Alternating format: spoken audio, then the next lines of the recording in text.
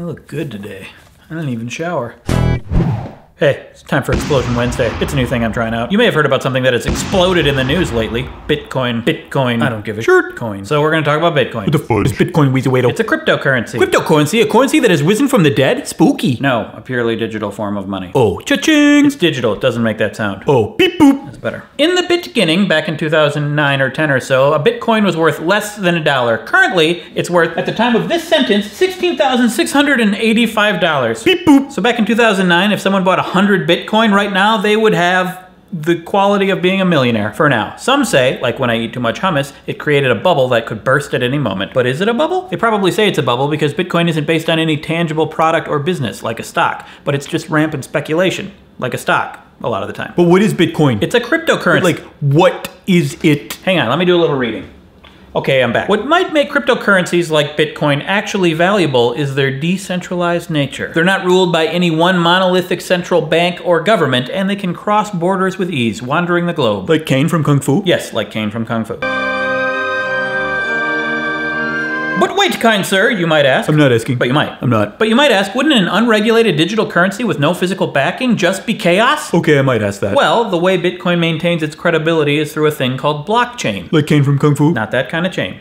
But that is badass. Oh, yeah. With paper money, you can't use the same money twice because you are literally handing it over to someone else. Unless, like me, you tie a string to it and you pull it back. But not everyone can be as fiscally responsible as me. And if you use credit or debit, like everybody, then your money is regulated by Daddy Warbucks or the bank. I know Daddy Warbucks isn't a bank owner. He just looks like a bank owner, you know what I mean? Get off my back, Annie fanboys. The sun will come out tomorrow. You bet your bottom Bitcoin. But if you want to drink the Bitcoin Kool-Aid and decentralize your money, enter the blockchain. Oh, yeah! Kool-Aid, if you do that commercial again, may I be the voice?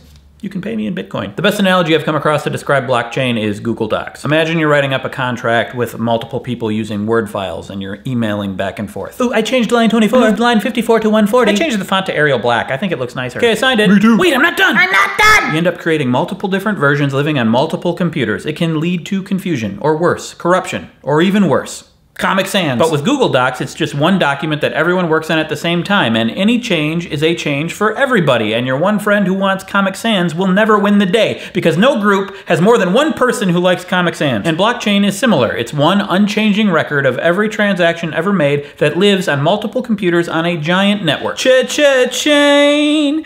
Chain of transactional data. In theory, no one person or entity would have enough computing power to take over and change the record. And when they're originally made, they can't be corrupted because they're not verified by a person, but by algorithms. Ah, I love algorithms. That reminds me, check out my video yesterday. It's called Fudge. Algorithms. So there you have it. It's the dream. A robust, decentralized, corruption-proof currency. And the proof is in the pudding. What the Fudge. does that mean? Bitcoin really began to take off when a couple early adopter industries started using it. The illegal drug trade and ransom payments. Since then, it has been used for other less sketchy reasons, like Argentinians and Venezuelans adopted it to avoid their country's high inflation. And now many people do use it for legitimate transactions online all the time. And theoretically, isn't it nice to imagine a world where no one entity controls our money, and all transactions live on a permanent record which is nearly impossible to manipulate, which would make corruption unlikely. That would be a nice world, and someday we might achieve that. But Bitcoin has been hacked before, and probably will be again. And the huge amount of electricity it takes for the network and Bitcoin mining, which is a whole other story that I don't want to get into right now, seems likely to become unsustainable as Bitcoin keeps growing, and it also gives advantage to countries with cheaper electricity. But there's lots of other cryptocurrencies that are working to improve these problems, and so is Bitcoin, but Bitcoin's so huge now that it's hard to make changes. There you have it. Answered all your questions. Is Bitcoin a bubble? Well, it does seem like there's actual value in cryptocurrency, but right now it seems like most people are just putting money in to take money out and be rich later. So is it a bubble? Well, people put money in regular businesses like Apple just to take money out and get rich, and Apple's still a business. So is it a bubble? Dude, I don't know, leave me alone. Thank you for watching. Yesterday's video is an angry rant about YouTube's disturbing kid content and their algorithm problems. The algorithm gods think you'll like that video. If you think I'm not a bubble and there's legitimate value in me, consider supporting me on Patreon, and thank you to all of you who already do support me. I really can't do this without you. Stay Bitcoin, Pony Boy.